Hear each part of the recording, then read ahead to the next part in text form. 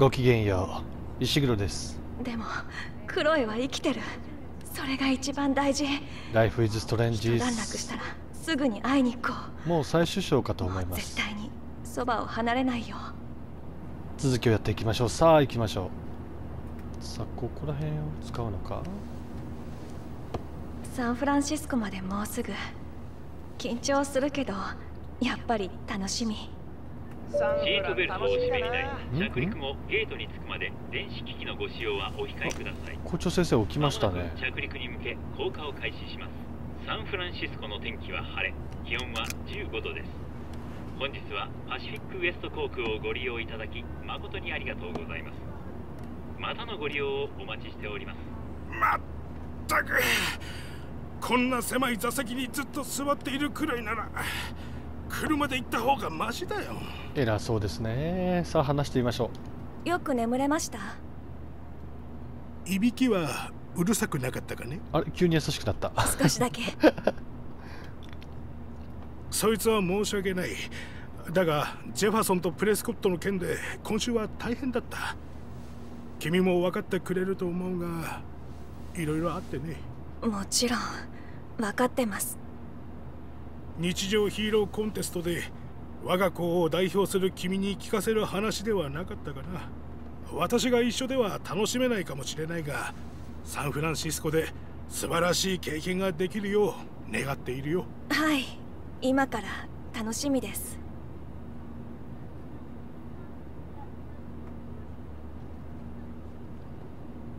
また鼻血だやばいな。また鼻血？どうなっちゃうんだ？これ以上負担をかけたら私どうなっちゃうの？あれ戻っちゃった。嘘でしょ。ん？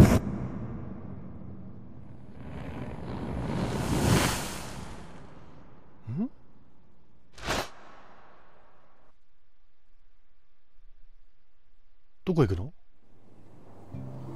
さあどっか来たぞ。時間飛んだね。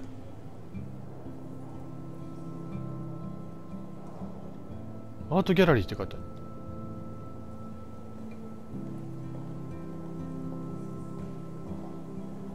シャンパン持ってる。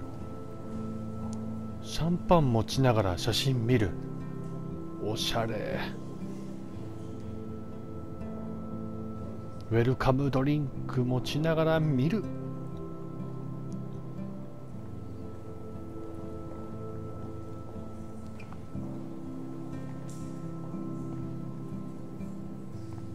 敵な街ですね。こんなに大きなギャラリーもあるし。ビュッフェも豪華だ。イベントの良し悪しは食べ物でわかる。キャビアだけはお断りですけど。今日は君の晴れ舞台だ。出品者として堂々と好きに振る舞えばいい。業界の人にもなるべく多く話しかけてチャンスを生かすんだ。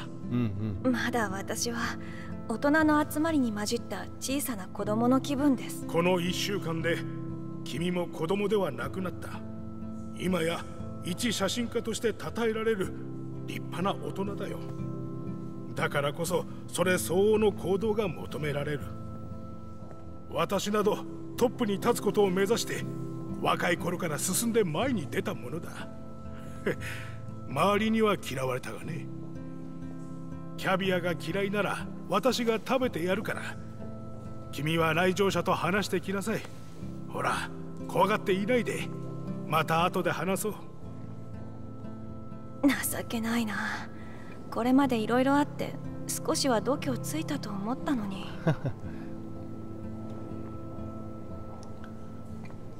なんか急に変わっちゃったね雰囲気が。でもまさか本当に成功するなんて。いや本当そこだよね。あ私の名前だ。他の入賞者もたくさん。いや他のアーティストかな？なんかこんなにガラッと変わると逆にえ？ってなるよね。いやいいいいのかなコメントを読めるっていいな。意地悪なのもあるけど。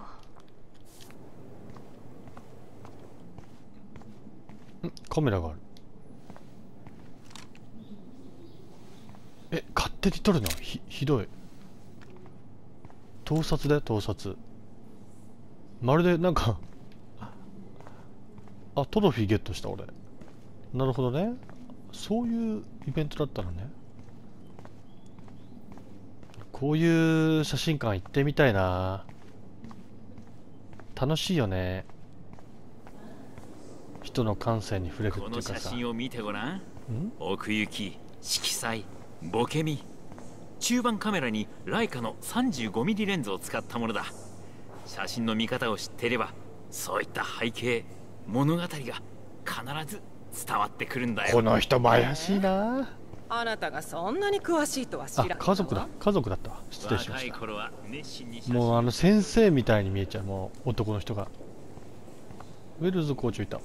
シンプルだけど写真家として有名になった気分はどうかな？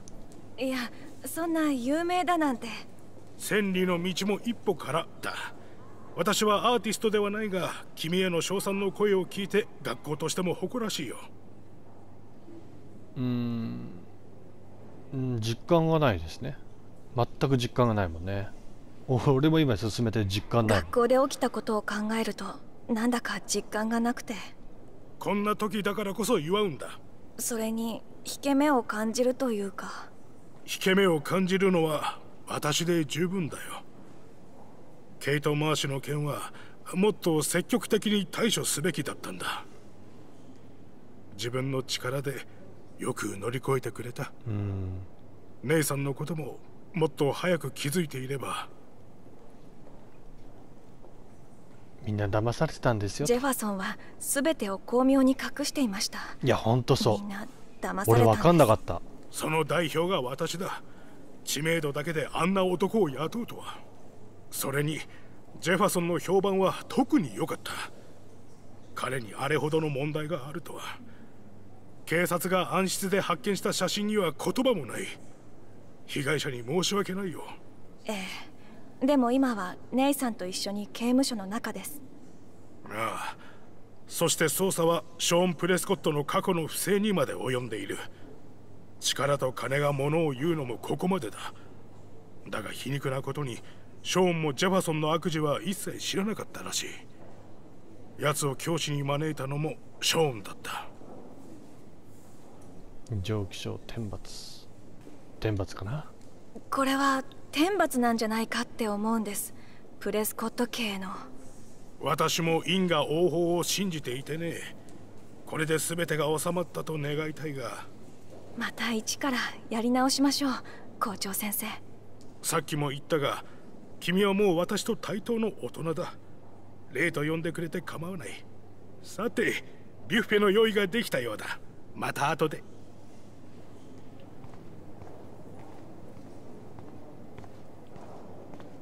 シャンパン。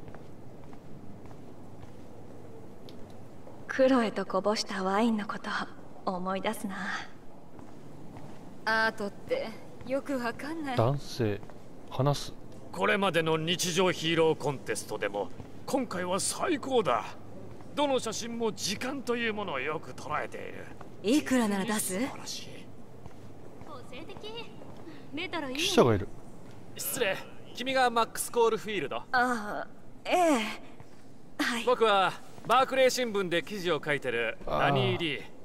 君の作品すごく良かったよ。皮肉的自撮りっていうのは今やありきたりだけど君の作品には時間を超えた何かを感じるんだ。よかったら話を聞かせてもらえないからこれ僕の名刺。じゃあまた後ほど。えっ、とどうも。さあ記者さんから話をしたら名刺もらった。お僕の作品はどこだ？私だ。マックスの作品はどこ残暑日常ヒーローの写真私アート大好きが買えるのかな？あなたがブラックウェルの日常ヒーローね。デトロイト美術学校のものなんだけど来春の入学についてぜひお話しさせていただけないかしら。あウェルズ校長にはまだギャラリーがよくこんな一等地借り話の途中で去っていく。いないね俺の作品。ないじゃん。なんか私の作品っぽさがないこれではないしね。今や誰でも写真家ね。ここか？すいません。あなたの写真に感激したって。えどれ？一言伝えたくて。他のどの写真より内に秘めたパワーを感じたんです。めっちゃ褒めてくれる。ねああったあったあったあった。これだ。そうだよこれだ。よこれでを出店したんだ。ヒーローのご登場ねどうも。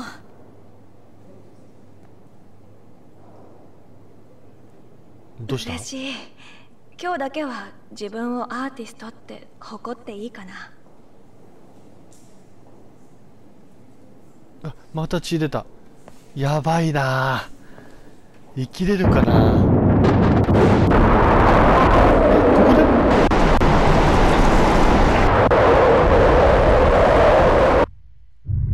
ここでここで戻っちゃうのか？クロエあ大丈夫？ちょっとぼーっとしてたけど。大丈夫です。飛行機で時差ボケかな。え？音消してた。バカ。お願い。電話に出てー、ええそうだ竜巻を止めないといけなかったのかな。今どこなの？クロエ聞こえる？もしもし。わあ平和な時代に戻ったと思ったんだけど。平和な世界になったと思ったんだけど。どうしよう。これじゃあ。竜巻が本当にそこまで直せなかったんだ。なるほど。クロエが死んじゃう。街もきっとめちゃくちゃこの世界で良かったと思ったら止める方法がある。絶対。また写真フォーカスして過去に戻んのか？いやーもう体酷使しすぎだよ。今や誰でも写真家ね。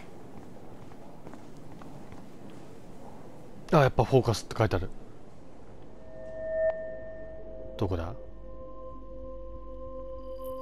来たここだ。すみません。え何君の作品のことをいやちょっ聞いてもいいか？とちょっと今フォーカスしてんのフォーカスしてんの。話しかけないでください。過去に戻りいいいいいい難しいんだよこれ。あなたが噂のマックスさん？どんなカメラ使ってるか教えすてご後でいいですか？い難しい。すみません。この人たちの相手してる時間はないよちょっとフォーカスが遅いと話しかけられちゃうね。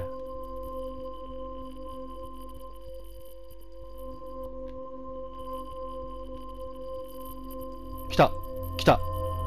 よし。OK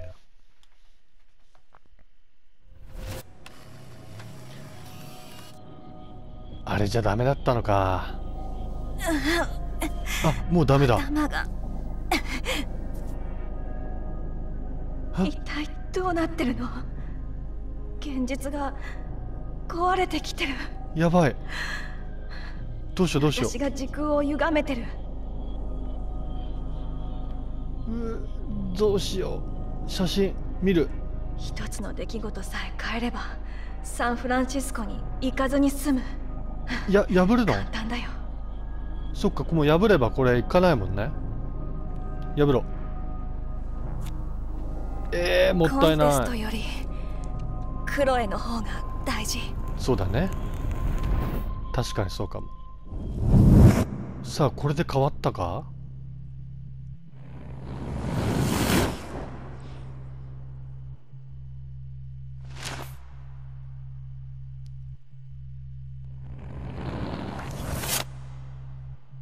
え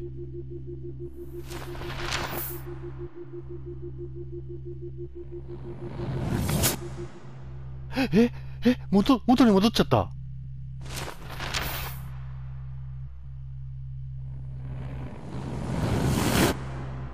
うわージェファソン先生捕まってない未来にな世界になっちゃった。え？嘘でしょ。そんなまたここなの？全部直したはずなのに。今何と言った？なんで？ジェファソンは刑務所にいるはず。まったく。授業中もよく上の大変相変わらずだな。自撮りをするには間違今が絶えたんかな俺好のチャンスかもしれないぞ。かつての自分から新たな自分へと生まれ変わる瞬間何が正解か分かんない。だがまずは質問に答えてもらおう。いやいいよもう。口が臭い。死ねばいい 何この選択。あんたなんか死ねばいい。なかなかいい答えだ。おや？鼻血が出ているね。薬の量が多すぎたかな。これは申し訳ない。だがどうせ死ぬんだ。ええ？鼻血ぐらいでいちいち騒ぐ殺す気必要も満々じゃん。ないだろどうしよう。ああビクトリアなら旅立ったよ。う嘘でしょ？まさか。何を驚くことがある？至極当然の結果じゃない。か最低。そんな。おいおいなんだその顔は？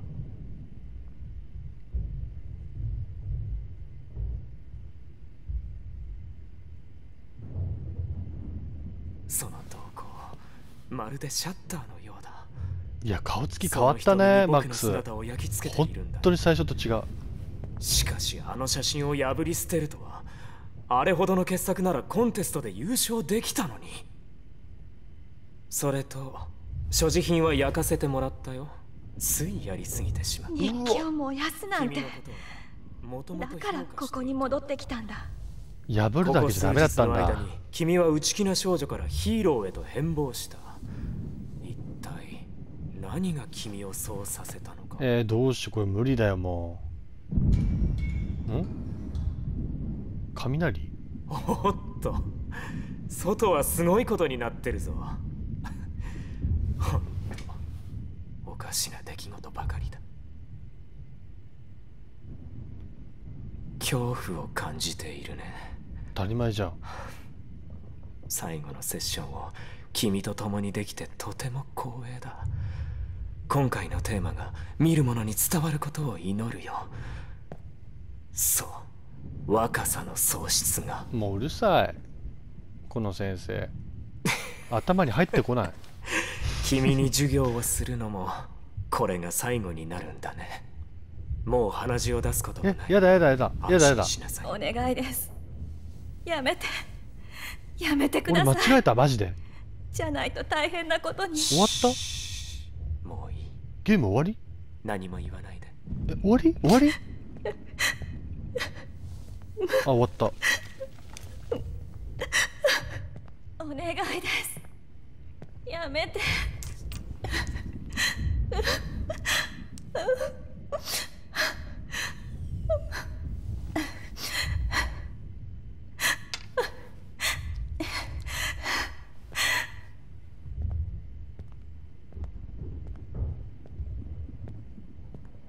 ええ待って待って待って待って待って。夫待って待って待って待って待って。なんかできるなんかできる。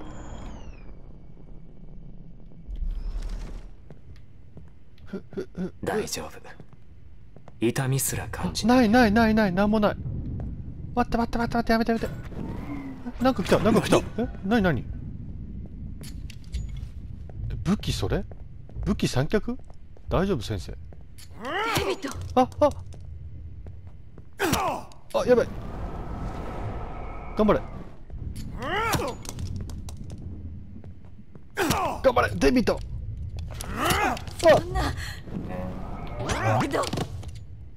あ。れ？デイビッド・マドセン危なかった。せいせいしたよ。このクズは学校でも鼻つまみ者だった。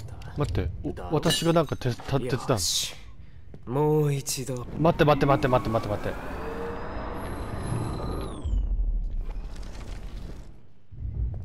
大丈夫。痛みすら感じないよ。話しかけんのか？あ警告警告警告。デビッド危ない！いい加減黙ってろ！うわえええええ。これじゃダメだ。早すぎた。早すぎた？あ警告のタイミングがあんだ。はい。デビッド危ない！何？なぜわかった？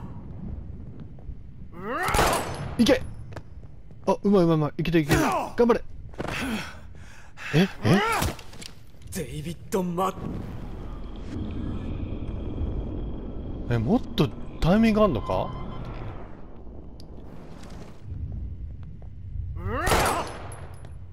うなんかあるええ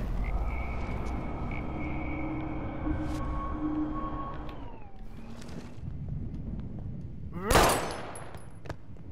うんやばい。デイビッド・マドセダメだダメだ。危なかった。せいせいしたよ。このクズは学校でも鼻つまみ者だった。だろ？よし。あダメだ。時を戻すここか？あダメだ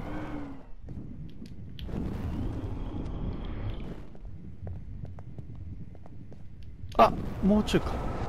壁に張り付いたらね。デイビッド危ない！何？なぜわかった？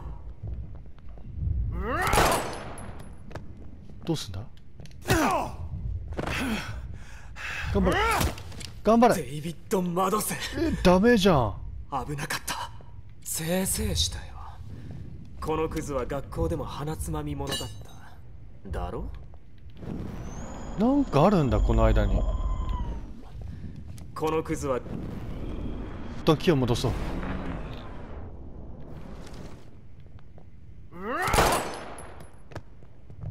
なんかを警告するやつがあんだな？いやいやいや。ないないないない。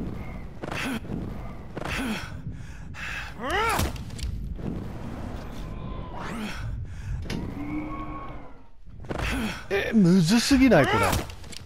デイビッド・マドセ危なかった。せいせいしたよ。はあちょっとむずすぎるな。この次のステップだよね。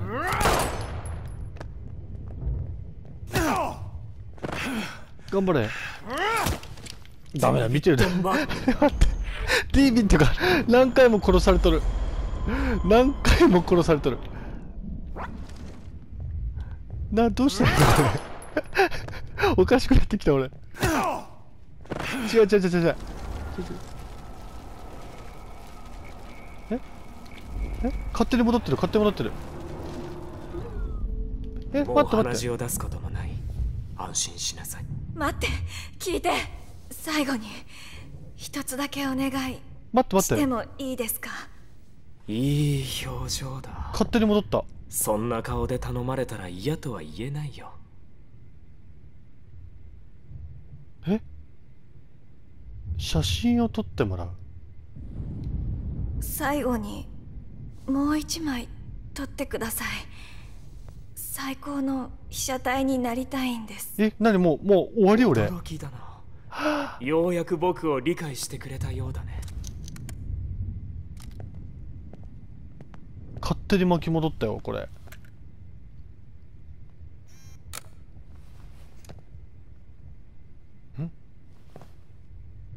ん？ん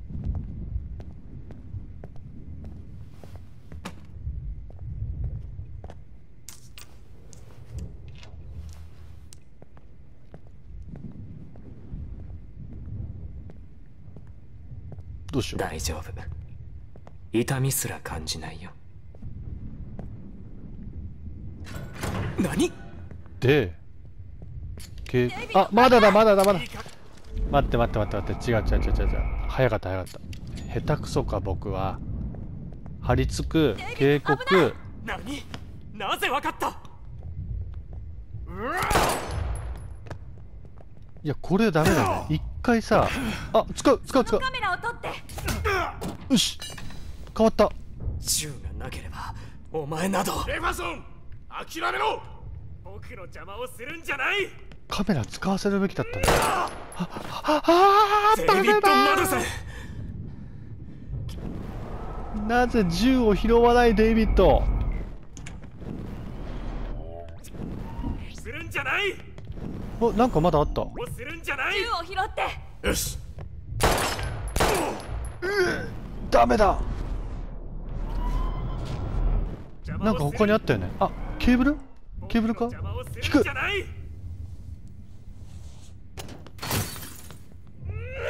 よし。よしよしよしよし。勝った。マックス。あやった。よかった。よかった。怪我はしてないか。わかんなかった。マジわかんなかった、はい。ありがとうございます。助かった。礼はいい。ここが分かったのもお前のおかげだ。まずはこいつを拘束しないとな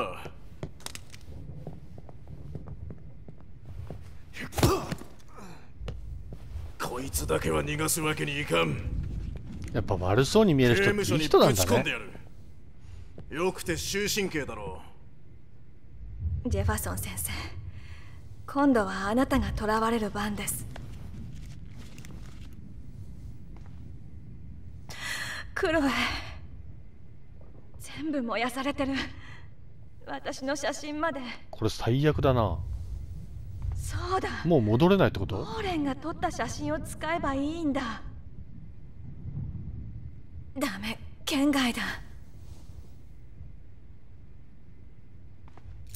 ジェファソン先生悪いけどこの車もらいます。お借りします。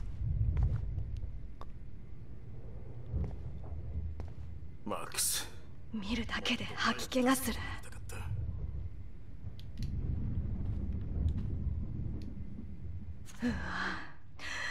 ぜこんなの見たくないよ。やだ気持ち悪い。ん？なんかまだあった？ダメだ。全部焼かれてる。頼みの綱はウォーレンが撮った写真だけか。これはスタジオか？今はただの哀れな人。あもうおとなしくなってる。デイビッドは任務遂行中。次は証拠探しかな証拠探し？ここまで異常だ銃はもうコリゴリ。きっと刑務所ではこんな音楽流れないだろうね。ネックレスあるネックレス。これじゃない証拠。必ず助けるから。もう死なせない。プレスコット家が取る。こんなところにクロエのものを置いていけない。クロエに渡そうオッケプレスコットのお金でセキュリティをさらに頑丈にしようとしてたんだ。ーうん。何なんだこの部屋は。この人話してるからこの人と話した方がいいか？あの大丈夫ですか？ああだがこの部屋は異常だ。ジェファソンは私を殺すつもりでビクトリアはもう。そんなまさかしかしこの野郎怪しいとは思っていたが。全然気づかなかった。私は全然気づかなかった。教師を疑う生徒はいない。ジェファソンは先生なんかじゃない。結局授業も計画の一部だった。ケイトの件でジェファソンを校長に報告した時気づくべきだったのかもしれない。それに俺はケイトを傷つけてしまった。あの子は俺と違ってまっすぐないい子だ。本人に直接謝りたい。うーん確かに悩んでたけどじゃない？うんじゃなくて。ケイトは確かに悩んでた。うんやっぱり。でも追い詰めたのはネイさんとジェファソンです。会話をしないといけないね。ネイさんが危険なのは分かっていた。俺がもっと早く行動していれば。ネイさんとジェファソンは親子みたいな関係だったんです。でもネイさんがレイチェルを殺しちゃってジェファソンはネイさんに全ての罪を着せようとした。黒幕はすぐ近くにいたのに俺が気づいたさえいればジェファソンとネイさんの強行を止められたはずだ。ネイさんが銃を持ってたって校長先生に伝えたけど信じてもらえなかった。うん諦めずにもっと食い下がればよかった。そうだね。過去を悔やんでいるのはお前だけじゃない。だがまさかお前とクロイだけでここまでやるとは俺にはできなかった。二人でよく頑張ったな。うん二人で協力してきたから。二人で協力してきたから。俺とは大違いだ。もともと人と協力するのが苦手でな軍でもそれが問題になった。トロしてる。それはきっと辛いことがたくさんあったから。自分の振る舞いについて言い訳をするつもりはない。ベストを尽くしたつもりだったが力不足だった。良い父親になろうとも努力した。だがジョイスに捨てられて全てを失った。うーん私のせいでかな。私のせいでそのごめんなさい。いや自宅にカメラを設置した俺のせいだ。ファイルも処分すべきだった。おばさんには私が間違ってたって伝えます。さあデイビッドとも仲良くなりましたね。また言い訳のように聞こえるかもしれんが戦場を経験した人間にとってその後の人生は苦しいものだ誰も理解してくれなかったがジョイスだけが俺を救ってくれた。希望をくれたんだ。そして私はあなたに救われた。クロエもきっと喜んでくれるはず。俺はクロエに無事でいてほしいだけだ。それとジョイスにはカウンセリングを受けると約束した。まずはクロエに謝るよ。パパとは呼んでくれなくてもせめてクソ親父はやめてもらえるように。いいパパさんになりそうだな。だ。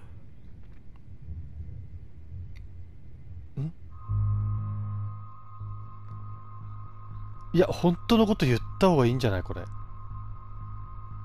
もうここまで仲良くなってんなら。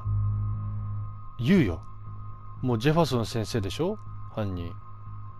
言おうクロエはクロエは死んじゃった。まさかそんなそんなバカなダメ？ダメ？クロエがいやでも言わなかったらね言った方がいいでしょ。本当なのか？勘違いじゃ昨日の夜廃品置き場で私の目の前でジェファソンに殺されたの。昨日の夜。あれ？ジェファソン殺しちゃう？俺がホテルの部屋で自分の愚かさを嘆いてる間に。必ず守ると約束したのに。ああジョイス。俺を許してくれ。クロエに伝えたかったことも。まだ。くっそ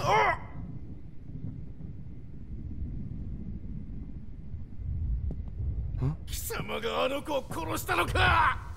俺の大切な娘を。待って。ダメダメダメダメ。ダメあ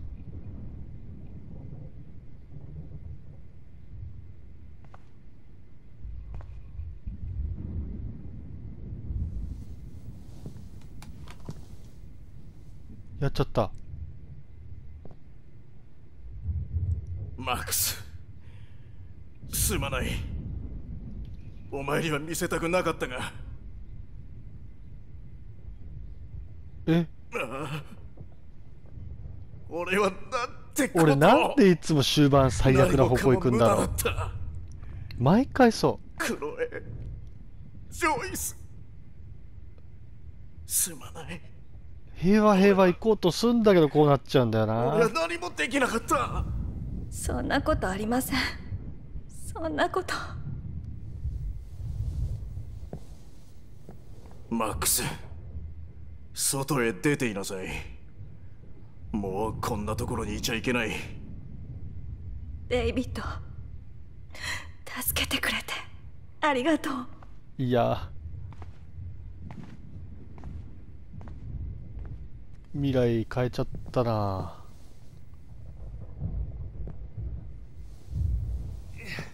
もうクロエは戻らないのかな？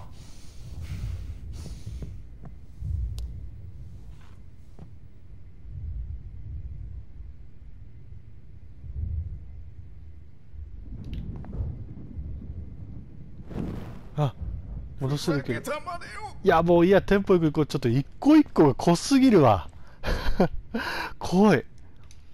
一個の場所で30分かかる。このエピソード5濃すぎるなまあ僕は僕の人生を見せますね皆さんに。本当に嵐が来たんだ。ウォーレンを探さなきゃ。やった。もしもしウォーレン？マックス。だったのか？今どこだ？聞いて。昨日駐車場で写真を撮ったでしょ。あれまだ持ってる？え？え持ってるけどそんなにいい写真じゃないよ。それ今必要なの。どこにいる？ツーホエールズダイナーでロイスさんと一緒に足止めされてる。ダイナー？こんな嵐生まれて初めてだよ。すぐ行く。あ？何言ってんの？危ないからそこから動いちゃダメだ。雨も風も全く収まりそうにないしさすがにちょっとヤバいかもしれないぞ。やばいどころじゃないよでも私が何とかするから。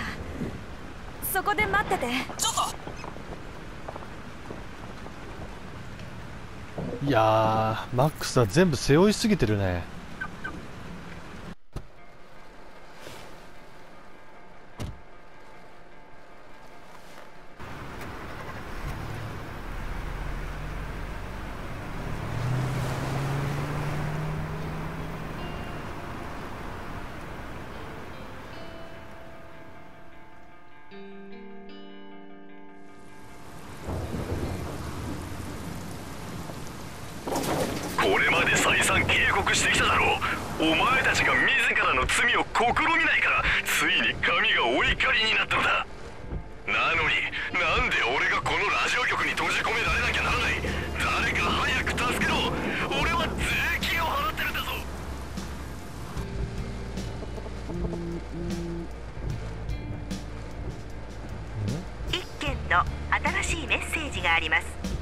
昨夜午後9時。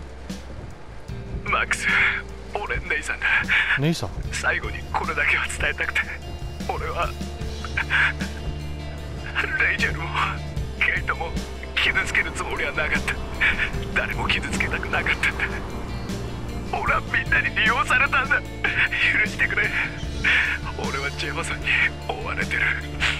もうおしまいだよ。マックス次はお前だ気をつけてくれ。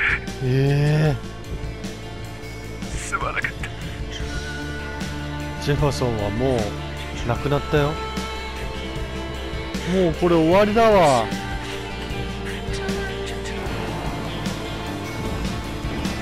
もうこの後台風を止めるしかないね。台風っていうかストーム。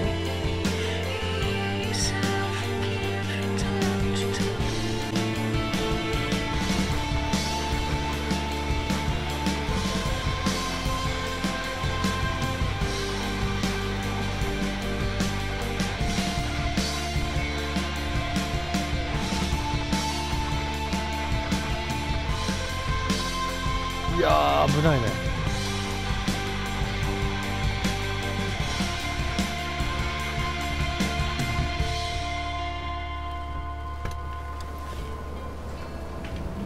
いや勇敢だなマックス変わった。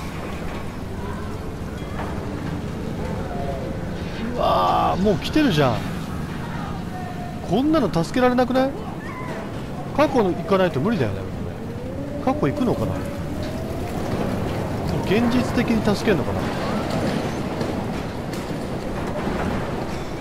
えこの状態で助けるの？ウォーレンはダイナーにいる？急ごう。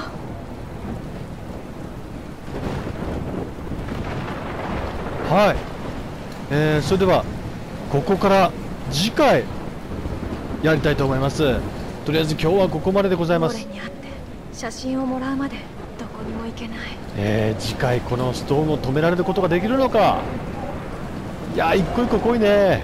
それでは次回お楽しみください。それじゃあお疲れさんです。またね。